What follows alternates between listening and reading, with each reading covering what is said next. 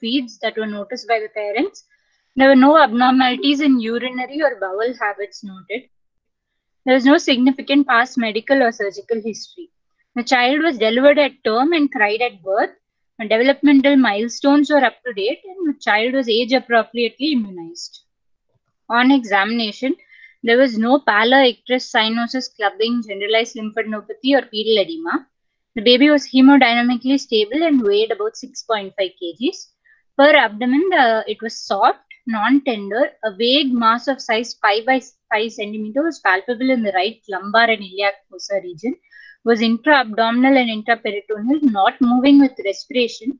The lower border can, could not be made out, and it was soft in consistency. There was no free fluid per abdomen, and bowel sounds were heard. The other systems were uh, normal. Uh, child was evaluated with an ultrasound abdomen, which is done outside, which showed a 6 by 6 centimeter thin walled fluid filled cystic lesion seen occupying the right iliac fossa. A differential diagnosis of mesenteric cyst or ovarian cyst was given. The child was planned and taken up for laparoscopic assisted cystectomy. Intraoperatively, we found a large cyst arising from the left ovary with a twisted fallopian tube bar pedicle. The clear fluid was aspirated from the cyst and few follicles were noted in the left ovary. The cyst sac was excised and sent for histopathological examination. Post-operatively, the child made an uneventful recovery. The first image shows the entire cyst. The second image shows the uh, twisted pedicle. And the third image showed uh, delivering out the cyst and excision of the sac wall. A small video. Uh, the first video shows the twisted pedicle, which we untwisted laparoscopically. And the second shows clear fluid being aspirated from the cyst.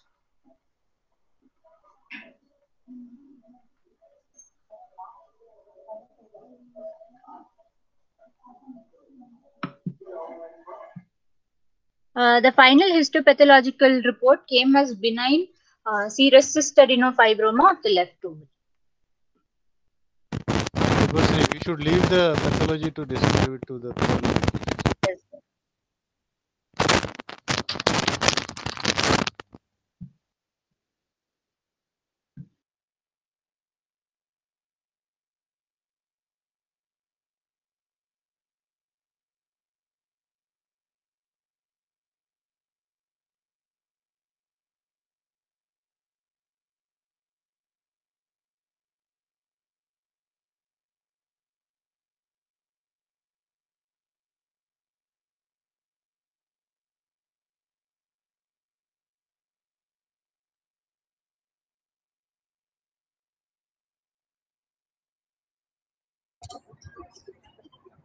So, uh, good afternoon, everyone.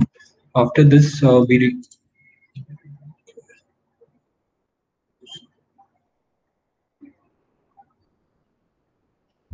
so following this, we received uh, two gray yellow flap-like soft tissues, measuring the larger measuring 5.5 by 5, 4.5 centimeter, smaller measuring 2 by 1.7 centimeter.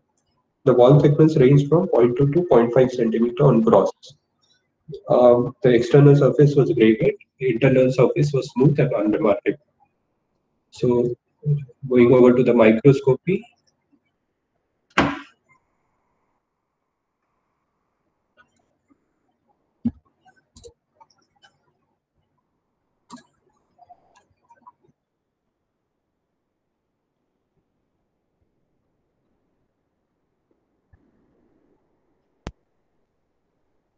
So, uh, th- this was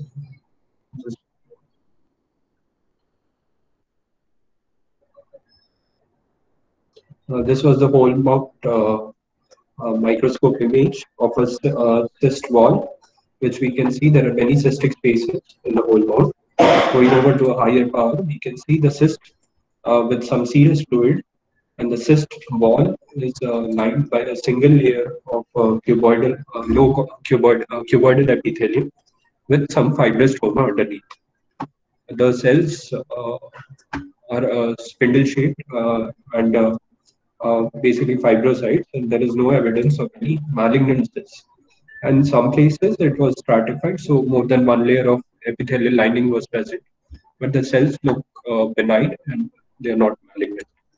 Some more pictures of the epithelial lining, which shows a single layer, predominantly a single layer of uh, lining epithelium, which is low cuboidal in shape. This, uh, uh, this is the fibrous stroma, showing some blood vessels.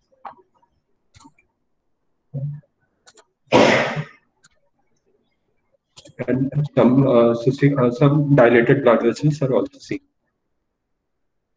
So uh, going over these microscopic images, the final diagnosis uh, came to be a benign serous cyst adenofibroma of the left ovary. Left ovary. So going over to the discussion part, um, going over to the WHO classification of the tumors of ovary, you can see here that epithelial tumors are uh, subdivided into the serous tumor, which is in turn divided into benign, borderline, and malignant. Underneath the benign, we have serous cyst adenoma, serous adenofibroma, and serous surface papilloma. Under the borderline, we have serous borderline tumor, uh, which is atypical proliferative serous tumor, or micropapillary variant. And underneath the malignant, it is low-grade and high-grade serous carcinoma. So going over to the discussion of serous cyst adenoma, it comprises four benign entities, basically uh, which are cystadenoma, adenofibroma, cystadenofibroma, and surface papilloma. The most common is serous cystadenoma, so which comprises 66% of all the uh, benign ovarian neoplasms. They are prevalent in all the age groups, but mean uh, mean age group is 40 to 60 years of age, and they clinically present with pelvic pain, discomfort, and a, a palpable pelvic mass. 12 to 23 percent can be bilateral, and usually the smaller ones, 1 to 3 centimeter, are incidentally detected on an ultrasound. So going over to microscopy, they are basically cysts which are filled with uh, serous fluid, and they might sometimes contain mucinous material also. The external surface is smooth and glistening. The size is usually 5 to 8 centimeter, uh, and lining is a flat with some post papillary projection um, which can be seen on the right hand side. Cystadenofibroma, these are solid uh, neoplasms that are composed of tough rubbery tissue with interspersed glandular spaces. So on the right hand side, we can see a single layer of serous epithelium, uh, which is line, lining the underlying stroma and characterized by some ciliated, secretory or intercalated uh, cells, which might be present in serous cystadenoma. There are some variations in the epithelial proliferation. So it might range from a single layer with some blunt papilla as on the top image to some stratification and complex uh, detachment of cell clusters, uh, which are in islands in the bottom image. Uh, epithelium might also be attenuated in large cysts, and mitosis and urticaria are generally absent, on the basis of which we can say that it is benign. Psammoma bodies can also be present in the stroma of some cystadenomas. IHCs are usually positive for the epithelial markers in the lining epithelium and also P63 in most of the cases. So this was the discussion about serous cystadenoma. Uh, any questions? Yeah, How common is cystadenofibroma in a neonate? Yeah, I've never seen a cystadenofibroma. Maybe benign serous cystadenoma. Uh, so they are rare entities actually. So um, uh, mean age group age group mean age group is 40 to 60 years. So in pediatric age Hmm. group it is uh, not very common. But you're very sure about the fibrous component in this patient. Yes. Okay. So Have you seen before neonatal cyst, uh, cystadenofibroma? Um, no sir. Not so. Worth publishing then probably. How is it different from a benign cyst that we tell as a simple cyst?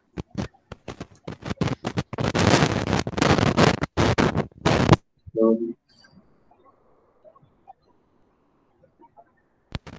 Sir, uh, Hello, can you hear me? yes, sir.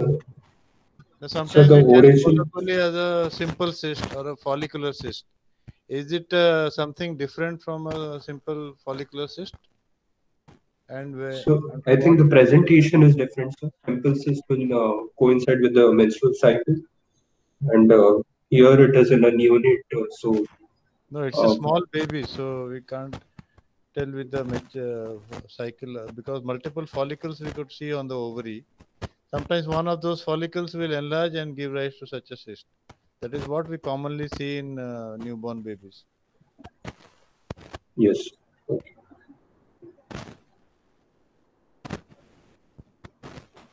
Okay, we'll go on to the next case then. Yes.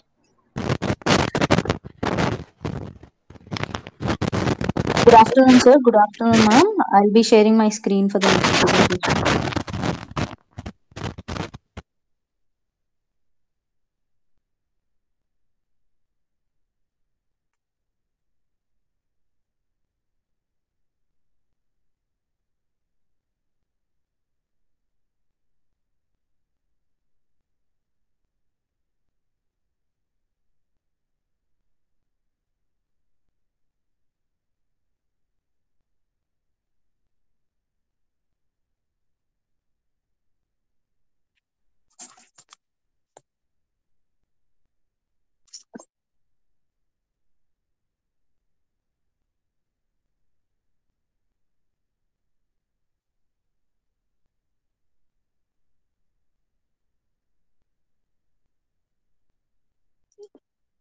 Sir, is my screen visible, sir? Yes. Okay. Uh, good afternoon. Um, myself, I'm Nandita, second year postgraduate in general surgery. Today, I'll going. Uh, I'm going to present the case of mesenteric cyst. So, coming to the history, here is the two-year-old male who came with complaints of abdominal pain of one-day duration, which was insidious in onset, rapidly progressive, dull aching type of pain, and the patient came with complaints of vomiting, two to three episodes, bilious in nature, and non-projectile. Uh, coming to birth history, antenatal, natal, and postnatal uh, events were uneventful. Developmental milestones were appropriate for the age. Vaccination history, uh, baby is vaccinated till date. Uh, general physical examination, temperature febrile, pulse of 80 beats per minute, uh, BP 90 by 70 mmHg, respiratory rate 16 per minute, no pallor, icterus clubbing, lymphadenopathy or pedal edema. Coming to systemic examination, uh, other systems uh, uh, were uh, unremarkable. Coming to parabdomen examination, uh, abdomen is soft, no distension, a small mobile cystic swelling of 3 into 3 centimeters palpable in right iliac fossa, no guarding or rigidity. Slipping of palpable fingers uh, is uh, noted on palpation. And uh, Tillaux's sign is positive, which is uh, the cyst is mobile uh, um, perpendicular to the line of attachment of mesentery. Uh, coming to the investigations, routine blood investigations uh, were all found to be normal.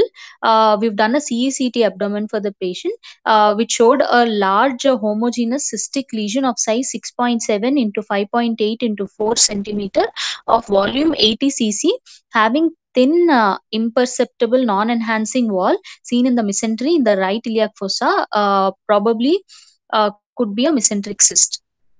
So, um, following the investigation, we underwent and did a laparotomy and excision of mesenteric cyst and resection anastomosis of jejunum was done since the uh, cyst is uh, in very close proximity to the bowel loops. So this is the intra-op picture. We can see the large mesenteric cyst of almost 6 into 5 into 4 centimeters rising from the mesentery, very close to the jejunal loops.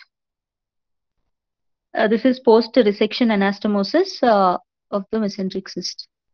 This is the post-op uh, histopathological report. The final histopathology will be discussed in detail by the pathologist.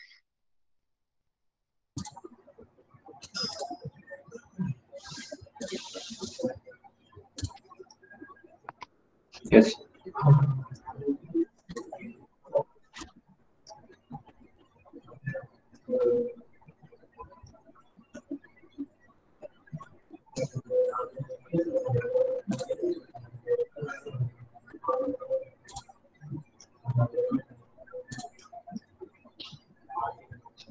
So uh, after the uh, clinical uh, details, we go over to the gross examinations. We received an intestinal segment that attached multiple cysts at the. Uh, intestinal segment was 7 centimeter in length and circumferential diameter of both ends were 1 centimeter in the greatest dimension. And there were multiple cysts attached.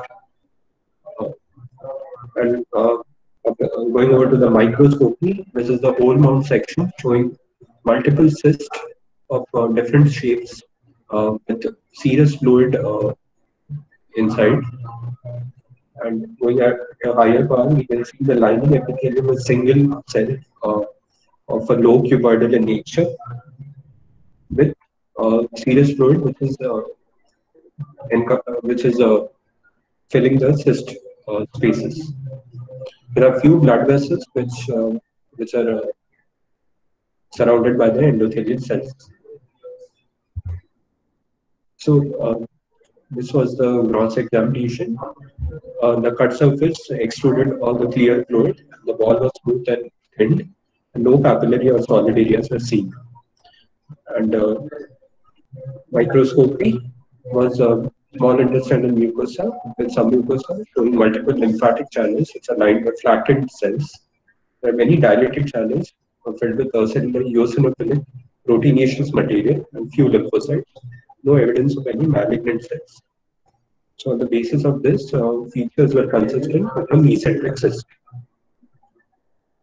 Going over to the discussion part. So mesenteric cyst, uh, the histopathological classification is the most broadly followed and it divides into six uh, subtypes. Um, first is uh, cyst lymphatic origin, cyst of mesothelial origin, enteric cyst, cyst of urogenital origin, dermoid cyst, and a pseudocyst. So the first four, uh, the first one is most common, cyst of lymphatic origin. mesenteric cyst, as such, are rare abdominal masses. So one in one, one lakh cases have been described in the general population, and in pediatric age group, it is still rarer. So one in two lakh, two to three lakh is what the incidence. Uh, usually, it is diagnosed in 15 less than 15 years of age with uh, clinical symptoms of abdominal distension, palpable mass, or a vague pain. Entryginal cyst is basically failure of the mesenteric layers to fuse, and most common is in the small intestinal mesentery. And usually the lining is single cell and usually made up of endothelial or mesothelial cell lining. And they have a thick wall which is lined by mucous membrane. Sometimes they might contain mucinous content as well. So blood supply might they might share it with the adjacent abdominal wall, and this uh, has a significant surgical management of the patient. And 10% of the patients may present with acute abdominal as well. On ultrasound, which is the first investigation of choice, it will show fluid-filled cystic structures with thin internal septate and internal echoes from debris which might be present in the cyst. CT scans adds minimal extra information but might give information regarding the surrounding structures and blood supply. Surgical treatment is the uh, managed, uh, treatment of choice, which comprises enucleation, excision, and resection, along with marsupialization. On the right hand side, we can see multiple jejunal mesenteric cysts, which surrounds the loop of jejunum. So uh, this was a case report uh, showing uh, about a mesenteric cyst, uh, uh, discussing the incidence of the mesenteric cyst and uh, the microhistopathological examination, which they found to be a thick fibrous cyst wall with some inflammatory cells. So um, this was the discussion about mesenteric cyst.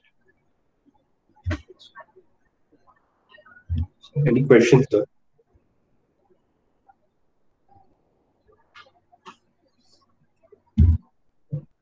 Hello.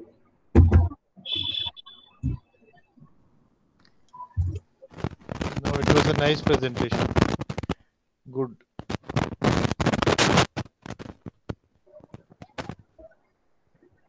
Thank you, sir.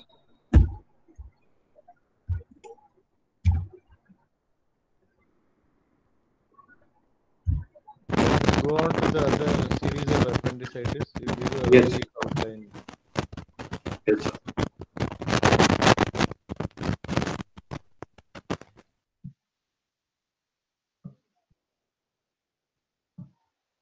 Uh, coming to the case series of appendicitis, I'm presenting three cases today.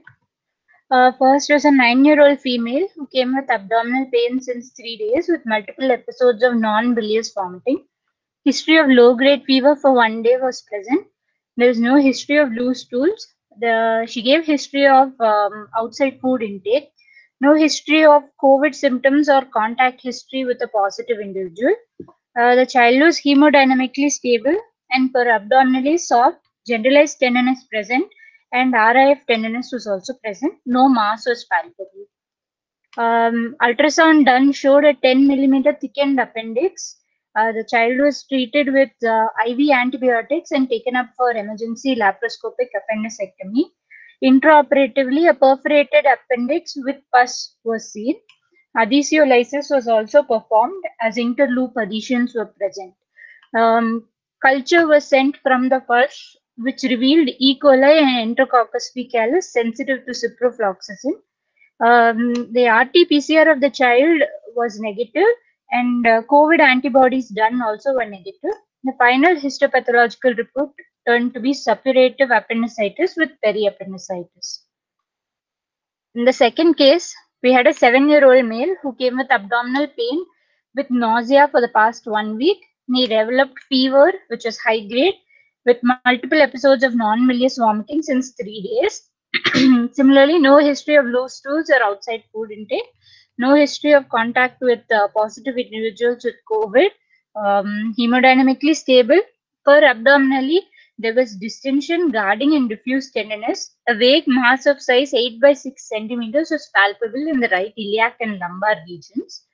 Um, ultrasound done showed 10 millimeters of, uh, uh, sorry, uh, 10 millimeter thickened appendix, and um, he was treated with IV antibiotics. Uh, CECT whole abdomen was done, which showed um, um, approximately uh, 100 cc of um, uh, pus present uh, with the appendicular abscess formation. Intraoperatively, um, perforated appendix was present. Um, the pus culture sent was um, sensitive to, uh, sorry, revealed E. coli and enterococcus. Um, histopathological final report also revealed uh, features consistent with uh, appendicular abscess with suppurative appendicitis. Uh, the third case was a nine-year-old female who presented with abdominal pain since three days with one-day history of fever with the history of outside food intake, no history of uh, COVID contact. Per abdominally, guarding was present, RIF tenderness present, and rebound tenderness was present. Um, radiology revealed dilated appendix with adherent omentum and uh, ileal loops. Uh, intraoperatively, a large dilated gangrenous appendix with slough was present in the RIF, with dense adhesions in the RIF and interloop adhesions. Uh, his um, final histopathology showed suppurative appendicitis. Although RT-PCR was negative, her uh, total and IgG COVID antibodies turned out to be positive.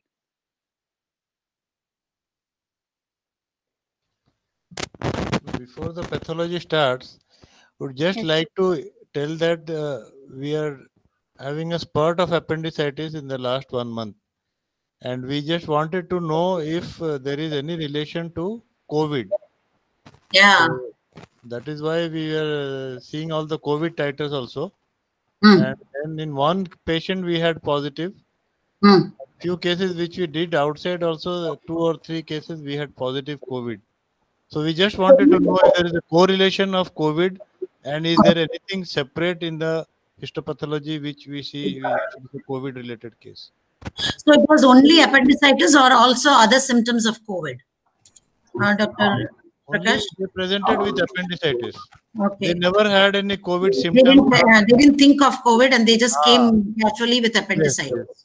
But when we operated and we found a spurt of cases, we searched for the COVID antibody. And Now, in few of the cases, we are finding antibody to be positive, Okay. but they were RT-PCR negative. So that is quite possible uh, because uh, COVID is, uh, it seems to be completely multi-system. And uh, GIT is one of the um, systems that has been named. Yeah, so we are So trying I- to study a correlation Yes. between COVID and GI symptoms Hmm. and if there is any correlation with these cases of appendicitis. Because basically, uh, children are not showing the regular symptoms. You know, children are mostly, you uh, the number of children that are affected are much less. So maybe they are showing this kind of uh, different presentation. That is also quite possible. Dr. Prakash? So histopath- histopathologically, is it anything different we are seeing? Yeah, so we'll have to check and tell you because uh, there is nothing specific. Um, Okay. uh, uh, specific, I'm not sure. We'll have to actually uh, see if anybody has documented, or we'll have to pull out these COVID uh, positive cases with appendicitis and see if there is any difference. You know, Yeah, yeah. Um, because anyway, inflammation is one of the features. So, uh, is the inflammation any, any different from the routine appendicitis that we get? Uh, Yeah. That we'll have to check up. That's what we wanted. maybe to you could tell us which are the COVID positive cases. The last we'll case she presented Huh. this one. Acha, Okay. So, Josephine, you can do that. Why don't you just check what is the, no? the last two cases? Devasi can give the number of the Yeah, patients. yeah, sure. sure. We can check. We can check and see. Yes, sir. That's interesting, actually, because uh, you know findings will be very interesting. I think somebody has their mic on. Yeah, can we? Who is that? Ma'am, The other one- We had one patient of Meckel's diverticulum also. We are discharging today. That patient is also having a COVID positive uh, antibodies. There seems to be some correlation because see, there is a like what paper he has put up. Can COVID present it, present like appendicitis? Quite possible, I think. So Yeah, let's so look at the please give the number of these two patients who were COVID antibody positive Yes, and uh, let them see Yeah. if there is uh, any correlation. Yes. Yes. In fact, uh, we can see if there is any tissue changes that we can detect. You know, yeah. Because when you say a spurt of appendicitis, probably it is connected to COVID in some way. You know. Sure. Okay. That's an interesting. we? Any other case? That's all. Is it over? that's all. Yeah. so much, uh, Dr. Prakash and team. Thank Very you. nice. Yeah, interesting. Thanks a lot.